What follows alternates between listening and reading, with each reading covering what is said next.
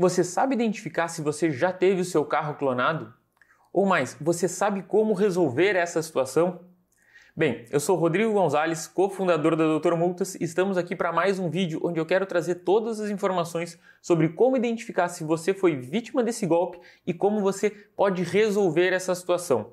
E aqui é um conteúdo muito importante porque eu sei que essa pode ser uma das maiores dores de cabeça que um proprietário de veículo pode passar. Bem, vamos falar um pouquinho mais sobre a clonagem de veículos, mas antes disso eu quero só trazer uma informação que eu acho muito importante.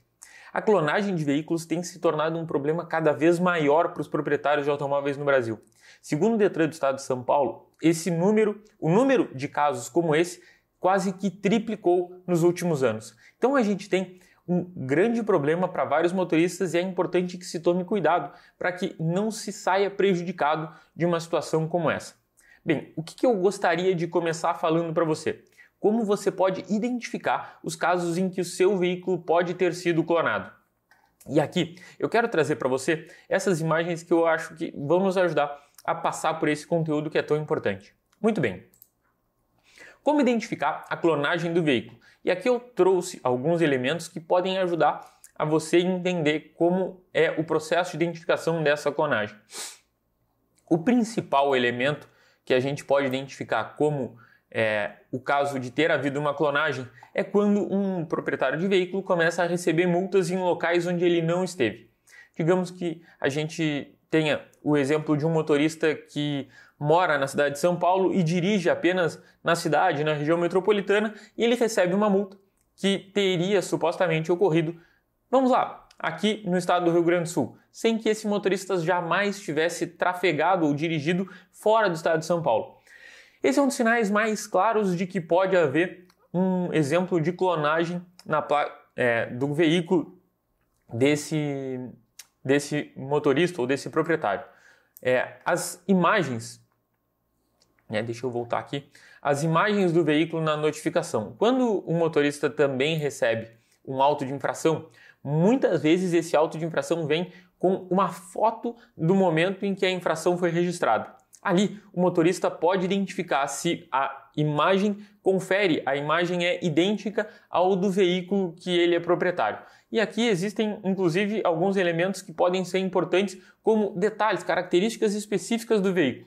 Não só as características que são obrigatórias de constar no documento, como cor, modelo, ano, tudo isso é, são características essenciais, mas aqui também a gente pode trazer elementos que sejam mais é, particulares do veículo, como por exemplo adesivos no vidro, como por exemplo cor de película ou até amassados, avarias, esse tipo de situação pode ajudar a distinguir um veículo que seja clonado ou não é, numa infração.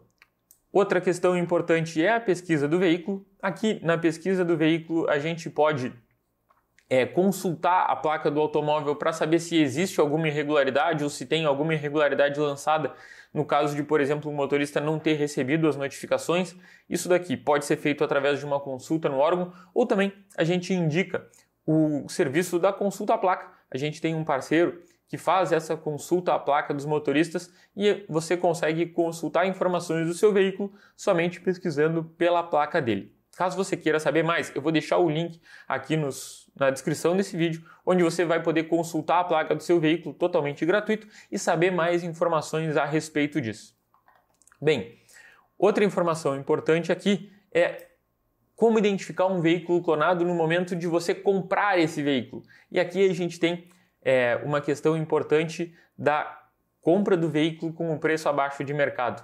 Essas situações sempre geram desconfiança e é importante que se observe quais são é, os itens essenciais para configurar a uh, originalidade daquele veículo. Né? Então, quando se for fazer uma compra, o preço é sempre um elemento importante, porque a gente sabe que o preço de mercado é, é algo que no Brasil, como existe uma circulação de veículos, é muito importante de se observar, e quando esse veículo está abaixo do preço de mercado, o comprador sempre deve desconfiar e checar mais profundamente todos os elementos que possam aí constituir essa originalidade. Aqui, um elemento que eu sempre destaco é a conferência do número do chassi, que inclusive Existem algumas técnicas, a gente tem um artigo que traz algumas técnicas de como os motoristas podem identificar melhor isso. Uma delas, inclusive, é o uso de esmalte sobre o número do chassi, que pode, assim, é,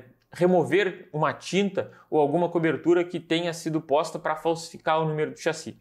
Mas a conferência do número do chassi, as inscrições gravadas no vidros, elas têm que estar tá clara, com o número é, correto e tem que estar, não podem estar desfocadas, né? Tem algumas é, peculiaridades que você pode notar aqui para conseguir identificar se esse veículo no momento da aquisição é o original ou não. Então, sempre que houver esse detalhe na compra, e principalmente quando houver a possibilidade de uma compra abaixo do preço de mercado, é importante dobrar a sua atenção nesse detalhe. E aí, evidentemente, a perícia do veículo. Né? Esses elementos essenciais é importante que o comprador observe e também é, fazer toda a atenção durante a perícia que é feita na hora da transferência do veículo. Mas esses são elementos essenciais para que você entenda se esse veículo é original ou não e fazer a consulta nos órgãos de trânsito para entender o histórico de multas pode auxiliar para saber se esse veículo já tem algum histórico de clonagem ou não. Muito bem. Como se prevenir ao comprar um veículo usado? Eu aqui já falei um pouquinho sobre quais são algumas das referências que o motorista pode fazer na hora de consultar isso, mas tem mais alguns truques que eu acho importantes de trazer. O primeiro deles é sempre pedir os documentos originais do veículo, tanto o documento de rodagem como o documento de transferência desse automóvel. Inclusive aqui a gente faz sempre a ressalva de que o motorista, o comprador de um veículo, ele pode saber se aquele documento é original ou não por uma inscrição que existe no canto superior direito desse documento, onde está lá se esse documento é uma primeira via ou uma segunda via. Existe lá essa informação e sempre se deve preferir os casos em que o documento é uma primeira via, é o original daquele veículo. Muito bem, a gente sabe que isso vai mudar um pouco com a digitalização dos documentos, mas de qualquer forma, é sempre muito importante que os motoristas procurem ter o documento original na hora de escolher o veículo para comprar. Sempre fazer uma pesquisa ou uma compra em estabelecimentos confiáveis, a gente sabe que hoje o mercado de automóveis usado e novo está muito aquecido, mas é muito bom que você consiga fazer o melhor negócio não só numa questão de preço, mas também numa questão de segurança. Você comprar um carro que esteja clonado pode ser uma grande dor de cabeça. E aí a gente sempre recomenda que você procure parceiros ou procure locais onde tenha confiança naquele veículo que está adquirindo. E aqui a gente sabe que um número maior de casos é, de veículos clonados acontece nas vendas privadas, nas vendas direto entre um proprietário, é, entre duas pessoas físicas. Mas, claro, o mercado é o mercado, a gente entende que os motoristas precisam dessas informações para conseguir escolherem, para conseguir identificar quais são realmente os melhores negócios e as melhores oportunidades. Então, vale sempre a dica né, de procurar estabelecimentos confiáveis por conta dessa questão dos veículos clonados. A conferência do número de chassi, como eu já havia falado, né, o veículo ele possui essas inscrições no número do motor, no chassi que existe dentro do automóvel e também o número que aparece no vidro do veículo. Todos esses números devem ser checados, eles passam por essa verificação na inspeção que é feita na transferência do automóvel ou ainda você pode contar com um prestador de serviço que faça essa conferência para você, dependendo do modelo de compra que você estiver realizando do seu automóvel. Mas pelo menos esses elementos são essenciais que você confira para garantir a originalidade daquele automóvel. Essas são dicas importantes para que você faça a compra do automóvel ser um momento prazeroso. A gente sabe que ter um automóvel no Brasil é um luxo que algumas pessoas é, têm condições de ter e que isso seja uma experiência prazerosa e não traga para você a dor de cabeça que seria de comprar um veículo clonado. Muito bem. O que fazer caso você descubra uma clonagem, seja do veículo que você comprou ou seja do seu próprio veículo? Primeiro, o que é importante a gente trazer aqui? Existem alguns tipos de clonagem de veículo. A gente tem a clonagem da placa, onde algum outro veículo reproduz as, os mesmos símbolos de placa do seu automóvel, ou se não, a gente tem os casos de carros dublê. Quais são, qual é a diferença dessas situações? Existem casos onde o motorista, desculpa, o proprietário do veículo, ele tem a placa clonada, mas é a mesma placa colocada num veículo com características totalmente distintas. Essa é uma situação muito mais fácil de ser resolvida.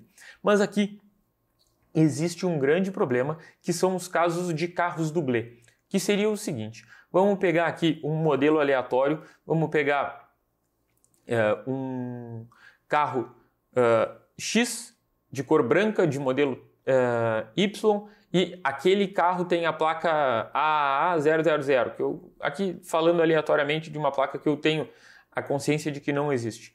E aí, um clona, alguém que tem o interesse em cometer uma clonagem de um veículo imita aquela placa e coloca num outro veículo de características idênticas. E isso daí significa que terá muita dificuldade de comprovar essa clonagem porque todas as imagens podem demonstrar veículos com características muito semelhantes. E esse aqui é um dos pontos que traz a maior dor de cabeça para os proprietários de automóvel.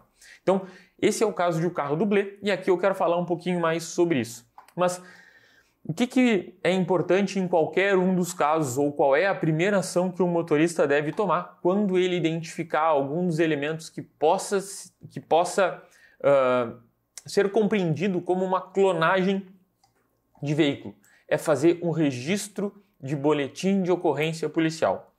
Isso aqui é um elemento muito importante por causa do seguinte: a gente sabe que existem é, possibilidade de recursos administrativos, existe a possibilidade de um pedido diretamente ao Detran, mas o, a formalização dessa ocorrência é muito importante para que o motorista registre o momento em que ele tomou ciência da possível existência de um carro clonado, que ele aponte nessa ocorrência foram, quais foram as multas ou quais foram os elementos que levaram ele a crer que existe uma clonagem da sua placa e que a partir dali esse motorista tenha condições de se defender e não mais ser punido por essa injustiça ou por essa irregularidade que está sendo cometida.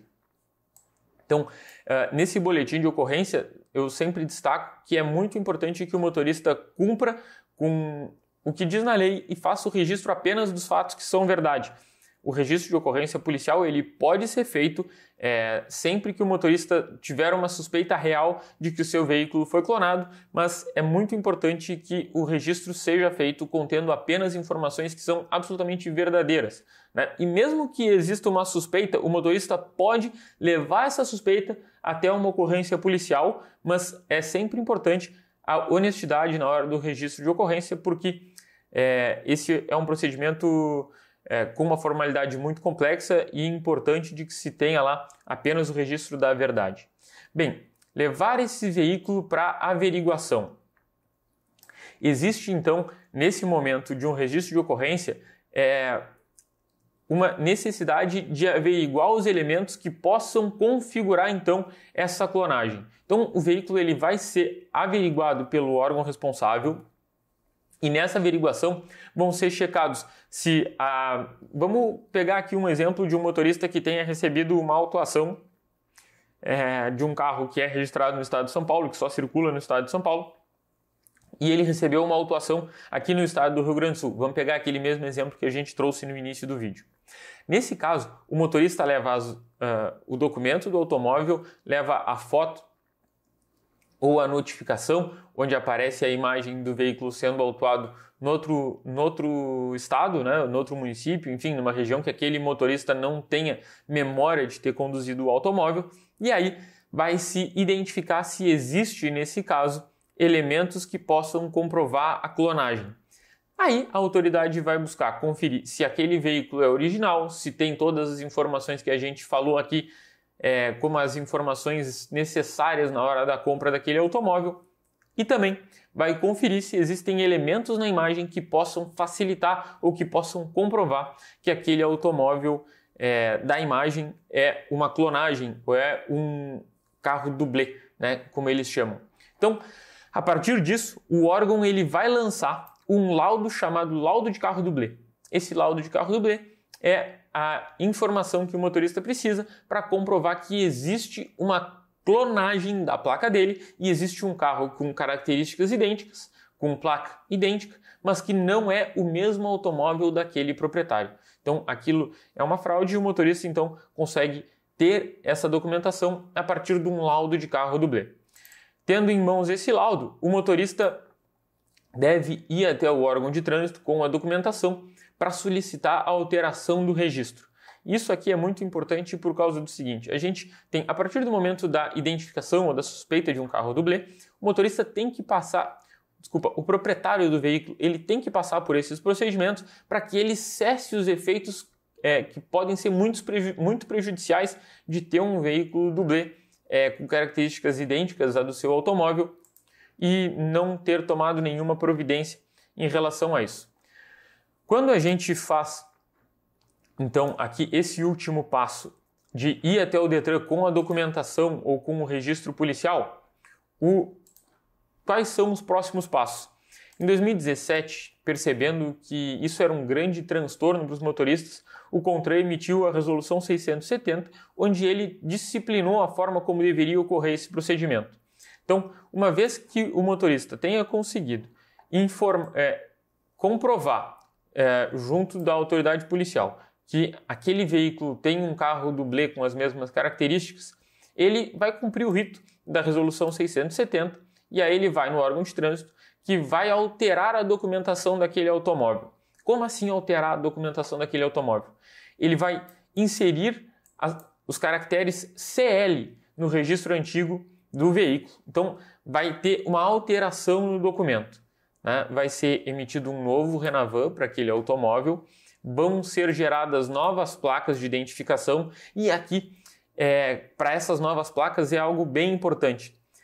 Na legislação anterior a 2017, não havia previsão de como poderia ou quando se poderia é, alterar a placa de um veículo. Então, o que, que acontecia? Caso um veículo fosse clonado, a gente teria sempre a seguinte perspectiva. Digamos que o seu veículo fosse clonado e tivesse um outro veículo por aí, em algum lugar do Brasil, circulando com uma placa igual à sua. Sempre que ele fosse autuado, você receberia a notificação porque aquela placa está vinculada ao seu nome. Mas aí, o que, que acontece? Como não se conseguia é, fazer cessar aquela pessoa, o clonador, né, aquela pessoa que estava cometendo o ilícito, de circular com uma placa que estava vinculada ao seu nome, a não ser que aquele veículo fosse parado em uma blitz e a autoridade policial identificasse que o carro estava clonado, o que a gente sabe que tem uma probabilidade bastante baixa de acontecer, a não ser que isso acontecesse, alguém seguiria circulando com uma placa que está vinculada ao seu nome. E como você não tinha uma previsão legal que autorizasse a alterar a placa do seu automóvel, você não alterava a sua placa e não conseguia fazer com que a outra pessoa que estava cometendo o ilícito cessasse de gerar prejuízo para o seu caso.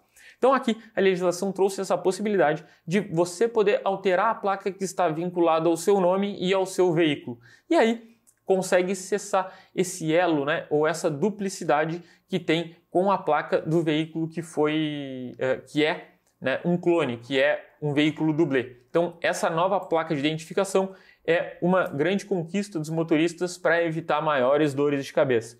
E também existe aqui a possibilidade da inserção de uma restrição administrativa né, em relação àquela placa antiga e também uma baixa desse, dessa documentação antiga referente a essa clonagem. Bem, vamos aqui a um dos principais elementos em relação à clonagem dos automóveis. Alguém que teve a placa clonada e a pessoa que cometeu o ilícito, ela levou muitas multas. Vamos pegar esse exemplo aqui. E existem casos onde motoristas é, jamais cometeram uma infração, mas tiveram seus veículos clonados e acabaram tendo a carteira suspensa por acúmulo de pontos pela pessoa que cometeu o ilícito. Então, aqui, que, que a gente pode fazer com relação a essas multas? Primeiro, os débitos do veículo, sempre que houver a necessidade de uma mudança, né, como a emissão de novos documentos aqui, eles deverão ser quitados para realizar toda essa alteração né, exceto as multas geradas pelo carro dublê. Mas aqui né, são as multas geradas pelo carro dublê que tenham sido reconhecidas lá pela autoridade policial como é, demonstração ou como reafirmação dessa questão do carro dublê. Né? E as multas do carro dublê, elas deverão ser excluídas do prontuário do motorista, mas somente as multas que estiverem é, listadas lá no. Até eu vou recuperar aqui no laudo do carro dublê. Tá? Nesse laudo do carro dublê, as multas que tiverem construído o laudo devem ser excluídas do prontuário do motorista. Mas muito bem, e no caso de um motorista não conseguir fazer esse laudo de duplicidade, no caso de um motorista é, não ter elementos suficientes que comprovem a duplicidade do automóvel ou a clonagem do automóvel e não consigam ter a emissão desse laudo. Nesses casos, os motoristas podem recorrer das multas que eles entendem que são injustas ou que eles não concordam que sejam impostas contra eles. Para isso, a gente tem um link aqui na descrição onde você pode é, solicitar uma consulta gratuita com a minha equipe e, nesse caso, você tem que recorrer dessa multa para evitar pagar por algo que não foi você quem cometeu. Inclusive, administrativamente, é uma das melhores formas de você reverter essas autuações, especialmente quando existe algum elemento que possibilite gerar essa comprovação de que a multa é injusta. Sempre é importante que você tome essas medidas nos casos em que suspeita de uma clonagem para que cesse o dano que pode ser imposto contra você, motorista, porque, como a gente já viu aqui, os prejuízos do motorista e os incômodos que o motorista pode ter por ter o seu veículo clonado são imensos. Então, tomar essas ações que sejam, pelo menos, para que faça cessar maiores danos contra a sua habilitação ou até contra o seu patrimônio, são muito importantes porque você se mantém protegido contra esses prejuízos. E aqui eu vou trazer, e eu sempre né, procuro informar os motoristas a respeito disso, mas Digamos que um veículo clonado, evidentemente, com características iguais ao seu e uma placa igual à sua, seja flagrado cometendo uma multa ou pior, seja flagrado em alguma situação que envolva um acidente de trânsito ou envolva qualquer outro tipo de ilícito. É muito importante que você tome essas medidas para que não seja confundido e tenha prejuízos por conta dessas situações. Então aqui fica as nossas dicas, o caminho de como você identifica a clonagem e como você age para evitar prejuízos por conta de ter tido o seu carro clonado. Se você ficou com alguma dúvida sobre clonagem de veículo, não deixe de colocar aqui nos comentários que eu ou a minha equipe vamos fazer questão de ajudar você. E mais do que isso, não deixe de se inscrever no canal para se manter sempre informado sobre tudo o que acontece no direito de trânsito no Brasil, as atualizações da lei e também dicas como essa que a gente compartilhou aqui hoje. Um abraço e até o próximo vídeo.